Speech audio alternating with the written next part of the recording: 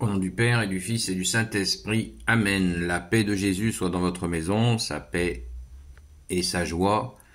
Merci Jésus d'être le roi de gloire, le Dieu de nos vies. Amen. J'espère que vous êtes en forme dans cette moitié de carême qui est, qui est là. Saint Évangile selon Saint Marc chapitre 12 versets 28 à 34, le commandement le plus important un maître de la loi avait suivi leur discussion, voyant comment Jésus avait su leur répondre, et lui posa cette question. Quel est le premier de tous les commandements? Jésus lui répond, Voici le premier. Écoute Israël, le Seigneur notre Dieu est un Seigneur unique. Tu aimeras le Seigneur ton Dieu de tout ton cœur, de toute ton âme, de toute ton intelligence et de toute ta force. Et voilà le deuxième. Tu aimeras ton prochain comme toi-même. Il n'y a pas de commandement plus grand que ces deux-là. Le maître de la loi lui dit Bien, maître, tu as dit en toute vérité que Dieu est unique et qu'il n'y en a pas d'autre que lui, l'aimer de tout son cœur, de toute son intelligence, de toute sa force et de et aimer le prochain comme soi-même vaut mieux que tous les holocaustes et tous les sacrifices. Voyant qu'il disait là quelque chose de très juste, Jésus lui dit, Tu n'es pas loin du royaume de Dieu. Dès ce moment, personne n'osa plus poser de questions. Amen. Donc il n'y a plus de questions. C'est réglé. On peut remercier les gens qui travaillent à nous préparer les textes de lecture pour chaque jour. Vous voyez ce choix judicieux nous sommes en plein carême et nous avons quelqu'un qui déclare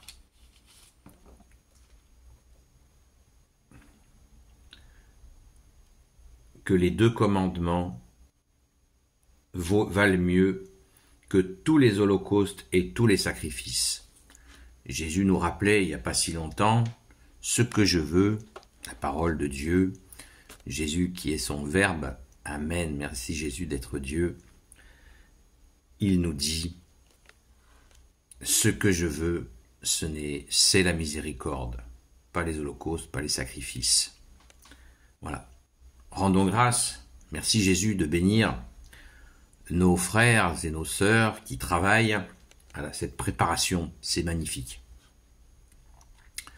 Donc ces deux commandements, Jésus les nomme dans un autre évangile, dans une autre lecture de sa parole, Jésus déclare ces commandements, ces fameux deux commandements, les deux commandements supérieurs. Ces deux commandements supérieurs, cela veut dire qu'avec ces deux commandements, toute la loi et tous les prophètes est accomplie. Jésus s'est montré au mont Tabor lors de sa transfiguration, eh bien, est apparu à côté de lui Moïse et Élie, qui représentent donc Moïse la loi, Élie les prophètes. Et Jésus était au centre, plus lumineux que le soleil.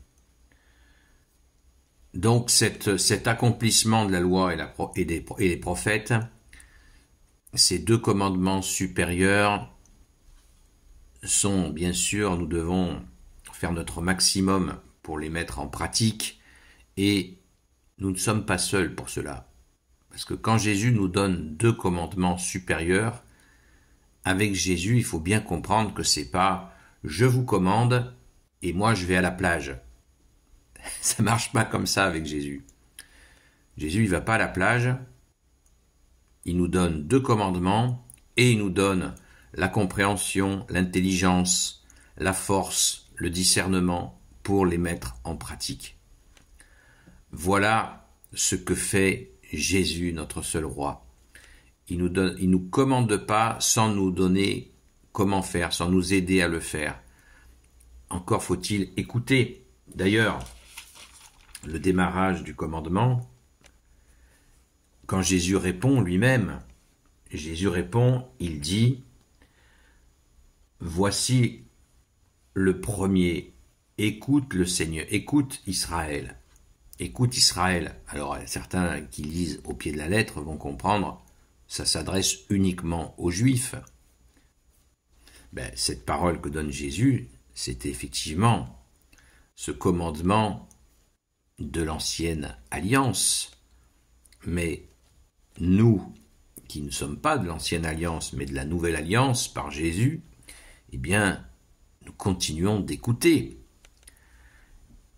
D'écouter Jésus, puisque on retrouve à la fin Jésus entendant cette déclaration de ce maître de la loi. Vous voyez, ils sont pas tous, euh, ils sont pas tous terribles, puisque ce, ce maître de la loi a bien parlé, Jésus le reconnaît. Au verset 34, Jésus dit, voyant qu'il disait là quelque chose de très juste, Jésus lui dit, tu n'es pas loin du royaume de Dieu. Tu n'es pas loin du royaume de Dieu, ça veut dire quoi? Ça veut dire qu'il est très proche de Jésus, qui est cette porte. Jésus est la porte du royaume des cieux.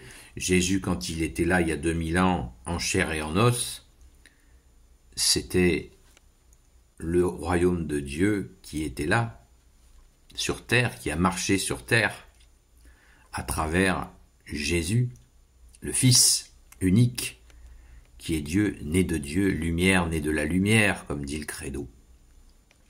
Donc, c'est extraordinaire, ce moment où ce gars,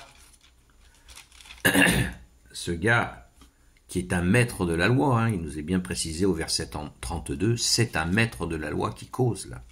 Ça nous change un peu des maîtres de la loi qui viennent, qui viennent essayer de confondre Jésus, qui viennent essayer de, de ruser Jésus, et lui il est sans ruse. C'est beau, ça fait du bien, ça soulage. Merci Jésus. Rendons grâce, rendons grâce d'avoir ces deux commandements et surtout sortons de cette pensée que ces commandements sont en fait de simples propositions. C'est pas pas une simple proposition, c'est un commandement, mais un commandement d'amour, évidemment, évidemment. C'est pas coercitif, sinon nous n'aurions pas le choix. Mais c'est un commandement quand même. Essayons de sortir de notre esprit, de notre cœur, que c'est une simple demande. Ce n'est pas une simple demande, c'est un commandement.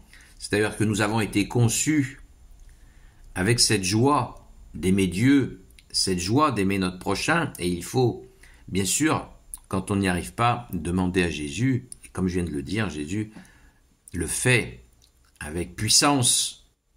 Amen. Merci Jésus de nous y aider de nous aider à mettre en pratique ces deux commandements supérieurs.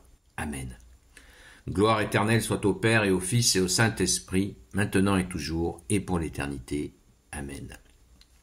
Ô Jésus, toi qui peux tout et qui portes tout, je te confie toutes celles et ceux qui regarderont cette vidéo, ainsi que leurs proches selon ta seule volonté, ô Jésus. Sainte Marie, Reine des cieux, toi l'Immaculée Conception, toi qui écrases le serpent, toi qui as la lune sous tes pas, toi notre Mère, Notre-Dame, Saint Joseph, toi le juste et le saint, toi le sage, toi la terreur des démons, toi le saint gardien de la Sainte Église catholique apostolique, Sainte Marie-Madeleine, chère Sainte Patronne, et vous tous les saints et saintes, amis de Jésus, Saint Michel Archange qui est comme Dieu, Saint Gabriel Archange, Saint Raphaël Archange, et vous tous les anges qui servez Jésus, je vous confie, toutes celles et ceux qui regarderont cette vidéo, ainsi que leurs proches, selon ta seule volonté, Jésus. La paix de Jésus soit dans votre maison. Je vous souhaite une bonne mi-carême et je vous dis à très vite.